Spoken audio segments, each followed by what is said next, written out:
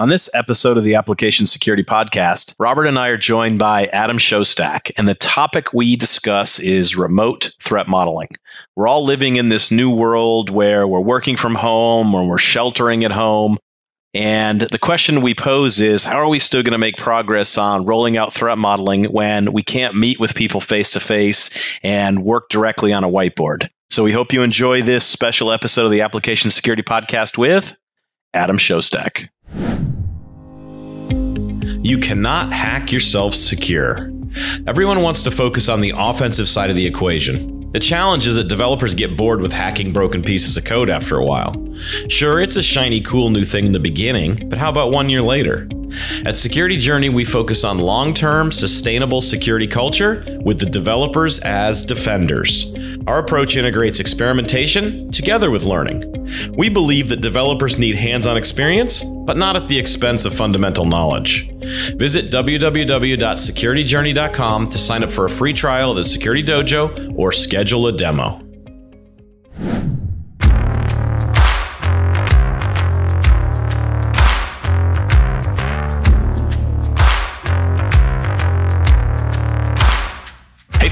Folks, welcome to this special episode of the Application Security Podcast. This is Chris Romeo, CEO of Security Journey, and I'm also joined by my co host, Robert. Hey, Robert. Hey, Chris, good to be here. And Robert is a threat modeling architect, which is going to fit in well with what we're going to talk about. Uh, we're also joined by Adam Shostack, who some people know from the world of threat modeling. Who am I kidding? Everybody knows that's involved in the world of threat modeling who Adam is. So, Adam, great to have you back with us again here. Hey, pleasure to be here as always. And so we find ourselves right now recording this episode. The date is March 26th, 2020. And so we're right in the throes of the COVID 19 shelter at home orders across the the country. And so we're all working from our houses right now and looking for new ways to keep up the momentum that we have in the various things we're doing in the world of security. And so what we thought we would talk about today, having Robert and Adam both here, both people who are focusing heavily on threat modeling, but now doing it remotely which a lot of our listeners are going to be dealing with the same problem as well. We thought we would spend a few minutes talking about some best practices, some lessons learned, some things about doing threat modeling remotely. So, Adam, I'm going to go to you first and say, what is some of the advice you have for folks out there that are trying to take on this threat modeling thing and keep that momentum going as everybody's working from home? So, the first thing everyone is learning to work from home as we go. This is this is new to everybody. And so recognizing that we need to really apply the agile practices of experimentation and retrospective as we figure out what's going to work so that things that we used to do at the whiteboard are now technologically mediated and that the technology doesn't get in the way but lets the lets us do the job that we're trying to do, or even helps us do the job that we're trying to do. And so, what, Adam, are some of the things that, from a tool perspective, you would recommend folks try to use given that we're not going to be able to be face to face for the immediate future? So let me split the answer into threat modeling tooling and drawing tooling in the threat modeling tooling space, OWASP just released the Threat Dragon project. I think I saw on their channel that they're going to 1.2 very soon. So that's an interesting possibility for collaboration. It's free, it's open source. There are commercial tools that I think are worth looking at at this point to figure out does this really help me? I'm not going to sit here and talk through commercial tooling unless you really, really want to. Um, but I, I do think there's some interesting stuff in that market. And then the second part was in the drawing tool perspective that you mentioned. Yeah, so I did I did an experiment yesterday. On what I did was I set myself a Pomodoro t- timer where where I said I'm going to spend five minutes creating the same data flow diagram in each of these tools. I'm going to click the timer. once I'm logged in, I'm at a drawing screen. You know, with some of them, I had to sign up for accounts. Um, some others, I I sort of got bogged down in the software installation process but I was pleasantly surprised by the state of some of these tools and how much I was able to get done in a short time. And what are some of the tools that you took a look at there that, that our folks in the world might want to be taking a look at as well? So I took a look at five different tools. I looked at Miro, I looked at AW app, A W W A P P. I looked at Jamboard from Google. I looked at Draw.io, and I looked at one called Tuple which is a pair programming environment. And all of those except Tuple have a free tier that you can go play with. And is there one based on your kind of quick analysis of looking at those tools? Is there one of those that you were like, "Hey, this is the one I'm going to recommend folks use," or do you think there's there's more than one that are adequate in doing this kind of drawing of data flow diagrams remotely? There is. I was I was really surprised. I thought there were going to be more trade-offs, but I really am impressed by Miro. Okay. Well, we're we're taking a look at at Miro. We've got a video stream of Miro that's available for our listeners to check out. And um, so, what are some of the things about Miro that drew you to thinking about this as a threat modeling platform. And before you continue and answer, I'm going to say none of the three of us have anything to do with Miro. Like we have no interest in it at all, other than we're threat modeling people and we want to figure out how to do this better remotely. So Miro's getting no money from us, and or we're getting no money from them, and we're just we're just practitioners here. So what do you love about this, Adam? So Miro had been mentioned whenever people are doing are talking about threat modeling remotely on the OWASP Slack channel for threat modeling. Miro comes up, and I poked at it a couple of years ago, and I wasn't that thrilled. And I did an exercise yesterday. I spent five minutes taking a diagram that I use for my classes and trying to draw it in each of a couple of tools. And Miro was fast. It was elegant. The diagram looks decent without me having to have spent a lot of time tweaking it. And as we're discovering today, it's got a collaboration mode where I can watch each of your cursors moving around.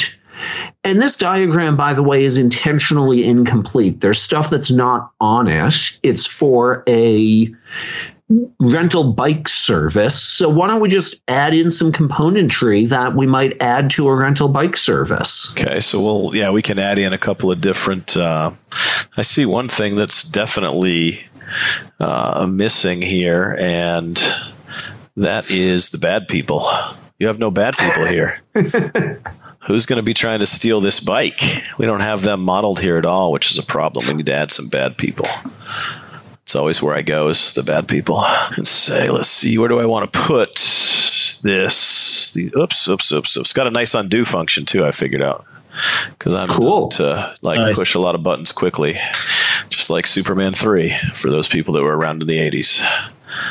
They'll get that joke. So you know what's sort of funny is I'm watching your mouse, is I can tell you have a smaller screen than I do here. Oh, I zoomed in because I got bad eyes. Ah, I couldn't because I'm watching you move over like what looks like an inch from the diagram, and as you're talking, I know that you're in the little control panel over there. But my control panel is another couple inches over, so that's a that's an interesting little difference. Yeah, yeah, definitely. All right, so let's see. Let's add some bad people here. I keep saying I'm going to add bad people, and then I'm not adding bad people. So um, I'm going to use this, and I'm going to put somebody up here. We're going to call this bad people. Bike thieves. Bike thieves. Thieves. Well, good luck trying to spell thieves in a recorded format. Hey, you know what I discovered because I had a couple of minutes to poke around is if I click the little three dots on the bottom left on the left, there's an icon finder. Oh, nice. And so I'm just going to type devil in here and hit return. And holy cow, they've got a devil that looks like my threat modeling guys. so we'll put that up there by the bike thieves. So the bike thieves, though, are going to be interacting with the lock. So we better move the bike thieves down here. Okay, so we've got the lock outside of the trust boundary, right? Because the lock is in the real world.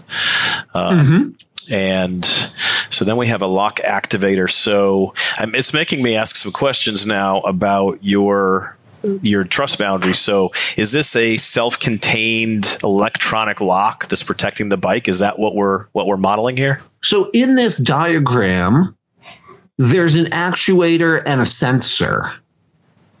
Right. And so the actuator would unlock the lock, uh, you know, turn a magnet on or off to let the lock move. And then there's a sensor to tell you whether or not things are closed. But yeah, there's a physical lock that sits in the spokes and stops people from moving the bike or stops people from riding the bike um, while it's not, while they're not paying us. Okay. And so, hmm, where's the payment processing here? So, so payment processing, we we don't have this yet, but let me draw a little app over here and make that a solid line. So the bike talks to the Bluetooth, or the bike, the app, your phone talks to the bike via Bluetooth.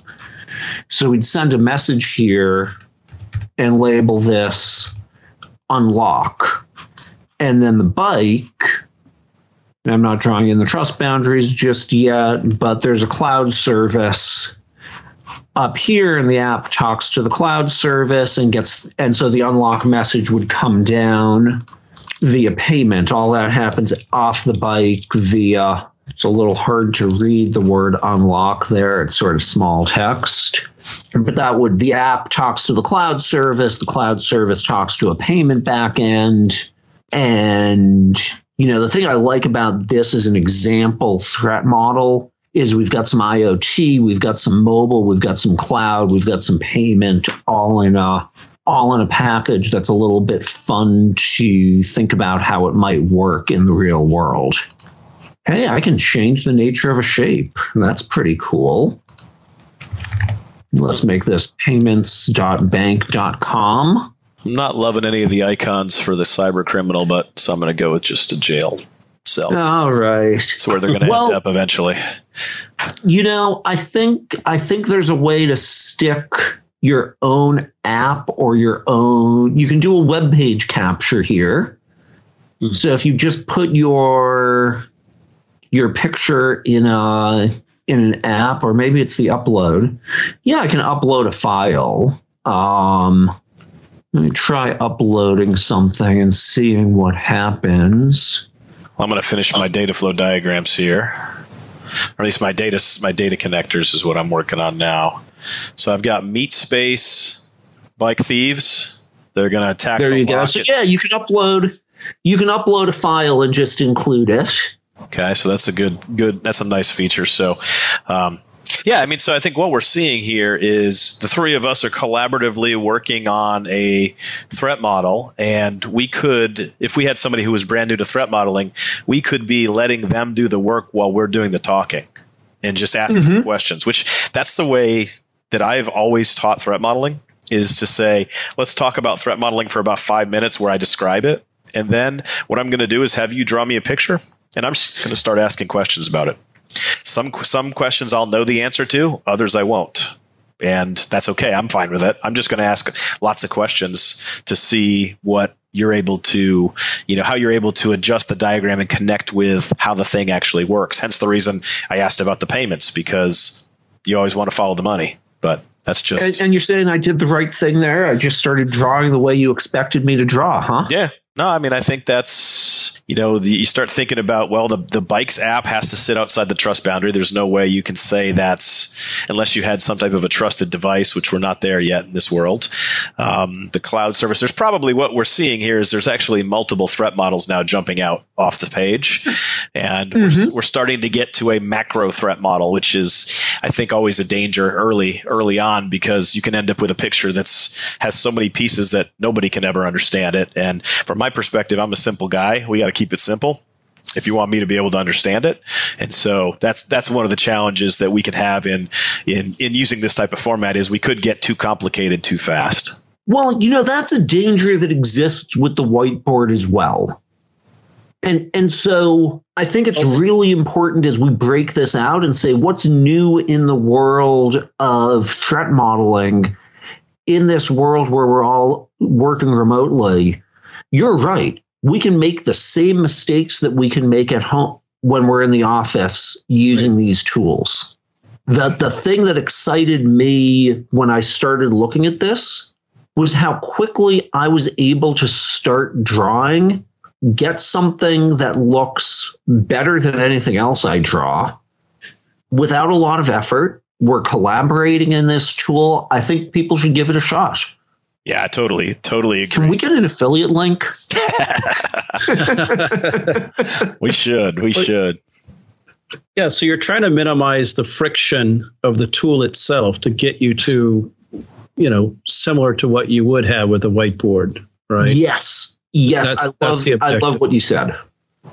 So we've definitely had a really good experience. I have in in being able to work collaboratively with you guys.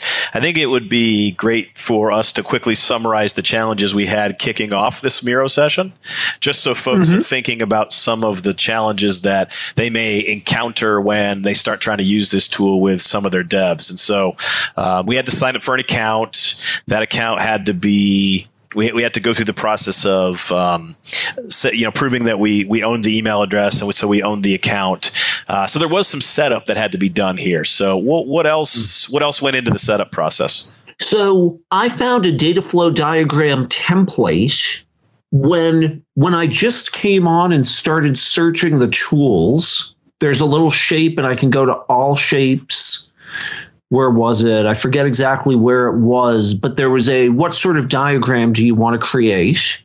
When I typed in DFD, I didn't find it, but when I Googled for data flow diagram in Miro, I found something very quickly. And so I used that to get going. So I think the takeaway there for our listeners that might be trying to do this is it will be wise of you to have a template slash sample threat model like Adam had here as a place to start, it would have been a lot more difficult, especially if you have somebody who's brand new to threat modeling. It, will be a lot more difficult for them to watch you build this threat model for 10 minutes. And it won't be a great use of their time. And they're going to wonder, what are these people doing? Why, why aren't they talking to me? And so I think that's one of the, one of the best practices we're seeing here is, you know, make sure you understand how to set up the tool, how to educate the person you're trying to teach in how, what they need to do in advance but then also come to the conversation ready with like a sample DFD like Adam had here. And you can see we started playing around with it. And now we've got all kinds of, you know, extensions that we've made to it, but it was collaboratively where we did that work and we all learned something in that process. Yeah, I think that's a great summary.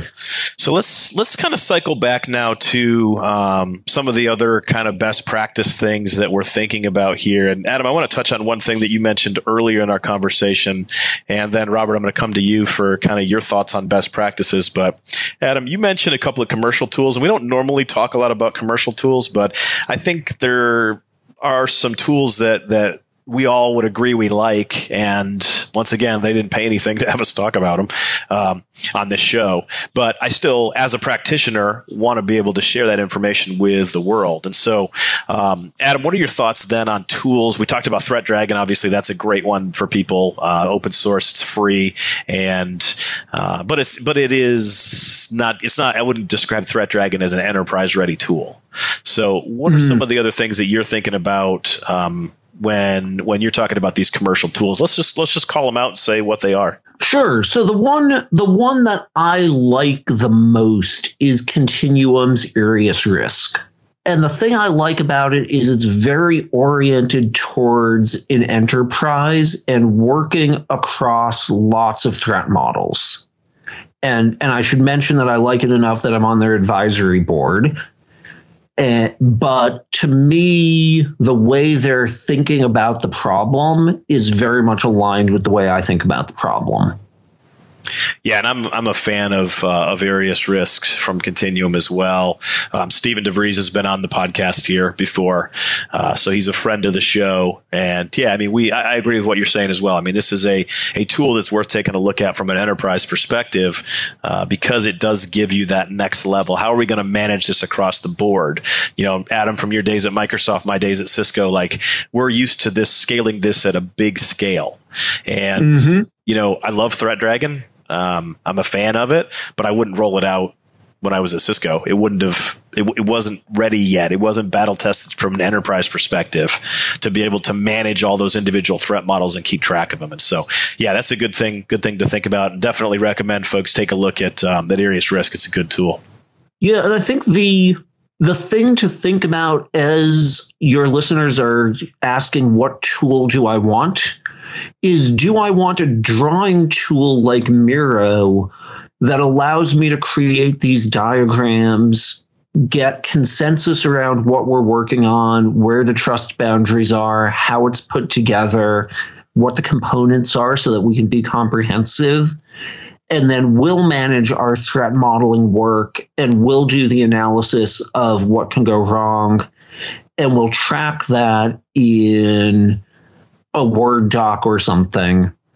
Or, or do you want a, a tool that takes more of it on and shapes your behavior a little bit? And there's a real there's a real trade-off there because however much you like the tool, the tool makes assumptions about what you should do and encodes them in the rules that the software has. The thing that I really liked about Miro when I picked it up yesterday was just how fluid it felt and I hear from some people that they feel that a tool like Continuum is very fluid for them.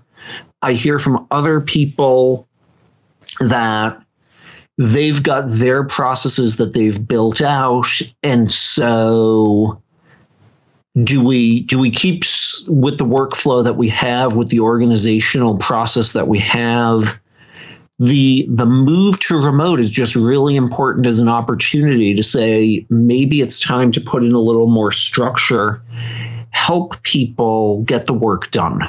So let's come back around now to uh, some of robert's thoughts about remote threat modeling. As somebody who's a practitioner who's actually doing this on a day by day basis robert what are some of the best practices that you would share with our audience well, I think we've covered a lot of them already. Um, you know, making sure everybody has uh, similar tools. Um, making that decision, I, I, I do like uh, what Adam mentioned. You, you do need to make a decision on how you approach threat modeling, either from the drawing tool perspective, and we keep track separately, which is very similar to what you would do with a whiteboard uh, many times, or you go and take a look at a tool that will help you navigate uh, through finding threats or identifying threats and uh, follow up and and so forth. So I think that's a that's a really good point is to make that decision. Uh, but secondly, working remotely, of course, you need to make sure you have good uh, remote tools in place, uh, whether that be tools that uh, like we've been looking at here that that naturally allow uh, good collaboration inside the tool, or you use other video screen sharing tools uh, that uh, that allows uh, multiple uh, folks to to see a screen or see multiple screens at the same time, something along those lines. Um, so that, that's also a factor as well that that can uh, help you with either being successful or causing more friction. so that's the other thing you have to kind of weigh in those decisions as well. And Adam, it looks like you got some other questions here based on the no no i was I, I was just modeling the behavior. I was taking some notes um, in the app as as robert was talking. Oh, that's great. No, and I think you you did touch on something there in the notes that um, is I think even goes a step further, and that is what are we doing from a uh, video collaboration perspective. Like we're we're actually recording a podcast now, so we're not actually looking at video of each other. But is that something that's going to be important in this remote world when we're doing threat modeling remotely? Do we need? Is it good for us to be able to see the look on each other's faces? Yeah, and, and I hear I hear both. I hear sometimes uh, no, not so much. We're just focused on, uh, for example, a whiteboard. We're focused on that, so let's just do that. And then I hear the other side where and I've seen the other side where, uh, okay, no, we need to see each other. Uh, we need to make sure we're engaged. Uh, there's that that aspect of when I'm working at a whiteboard. It's not that I'm just working at the whiteboard, but I'm actually talking to people. I'm communicating, and I could see uh, they may not say something, but the you know quizzing look on their face. Mm. I'm not sure where where are you going with that. I could see that in a camera, perhaps. Uh, so so there is that that still that personal interaction as much as as we're trying to capture that working remotely. If we can do that, then it helps. Uh, just as we would be, it would help rather if we're at a whiteboard. Uh, so that's another thing to make a decision about too. Is how do we share? Do we just share the thing we're looking at, or do we share that as as well as uh, turning on the camera so that we can see reactions and and and make sure people are engaged. Uh, you know, uh, especially if you have a larger number uh, of folks who are trying to do threat modeling at the same time. You know, a good sized team. Uh, you might have two or three people who are actually doing the threat model, working on the threat model or data flow diagram, or, or, or talking about it, and then you've got maybe five people who are sitting and multitasking, doing something else and it may not be engaged because hey the remote and there's no camera on me. No one knows type of thing. And and so you sometimes have to make that decision as well that maybe turning on the camera kind of forces us to be engaged and and and be there and um, you know verify that we're we can see each other and and react and so forth. And that that makes me think as a teacher of threat modeling something we need to do in this remote world is we need to be checking in with the people we're working with it, it, directly in the collaboration. And I think we did a good good job of that in our little collaborative example here because we were kind of constantly checking in with each other and, and drawing each other into the conversation. But I think that's something we got to do as, as trainers, as teachers of threat modeling. We got to be deliberate about that. And if somebody is kind of appeared to drifted away, we got to ask him a question like, you know, if let's say Robert had been silent here for five five minutes or something, uh, I need to do something as the trainer to say, hey, Robert, you know, what do you think about the GPS radio module here? What's the impact of that? And so I'm not calling you out by saying, hey, Robert, are you paying attention? I'm just drawing you back into this remote collaborative experience. And for us as trainers, we got to be paying attention to that stuff as teachers because we, we don't want anybody to miss out on the cool stuff that's happening right in front of them. Right. Yeah, and I think I think as everyone is learning to go remote, there's a really interesting difference between the companies that have been remote for a while. And I'll talk to a lot of people where, oh God, no, I don't turn on my camera ever. I tell people it's broken. the the the folks who are going remote now almost all of the advice that i'm hearing is that your camera is on most of the time. Managers open door policy is they have a google hangout or a zoom call that's open just showing them. And if you want to walk into that room the url is available to you. And and that willingness to share, willingness to expose the inside of our homes, as messy as they are, as our pets, as our kids come in frame and wave to our coworkers. I think there's a tolerance for that that really enables what Robert was talking about with being able to see whether or not people are engaged or if they're looking quizzical or if they're sitting there with their arms crossed and frowning. All of these things are things that we're all working through, that companies are working through. What should our culture be? What is the expectation here for the way we're going to do this? And 90% of that just applies to the way you're going to threat model. And then there's the 10% that's different because threat modeling involves these new skills, this critical thinking, and the specific tooling that we're going to use to make it work. But so much of what we're doing today is just let's figure out how to make this, let's figure out how to work in a world where we have to be physically distant from one another. Yeah, definitely. So, as we close out this little segment we did on remote threat modeling and some best practices and things for folks to think about, Adam, I'll start with you. What's what's kind of one thing that you would leave with our audience as a conclusion coming out of this session? Question number four in threat modeling is Did we do a good job? Make the time to talk about that, make the time to learn what's really working and what's not working, and everything will go better. Awesome. Thank you, Robert. What's your kind of takeaway here for the audience? Yeah, I think similar. Uh, just checking in. I think follow up what you mentioned there. Just checking in uh, with all the members in the, in the team and and making sure they're uh, feel like they're they're a part well, gentlemen, thank you for taking the time to share with our audience today. Like we said, this is a special episode of the Application Security Podcast that uh, we want to get out to our folks in our audience that are dealing with some of these issues right now. And um, I, I, would say that we would be open to if folks in the audience want to ping us on the OWASP Slack or or or uh, you know on Twitter or any other any other places where we're hanging out. Uh, we would love to continue this conversation and hear their best practices and thoughts as well on remote threat modeling. Thanks for listening to the Application Security Podcast. You'll find the show on Twitter at AppSec Podcast or on the web at www.securityjourney.com slash application dash security dash podcast. You can also find Chris on Twitter at EdgeRoute and Robert at Robert Hurlbut. Remember, security is a journey, not a destination.